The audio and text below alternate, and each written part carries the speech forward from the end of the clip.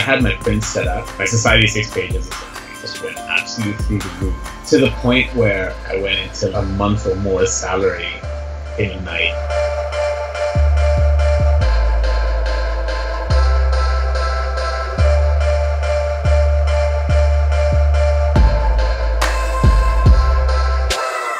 Hard work is super important and I think the consistency with that hard work is like super crucial.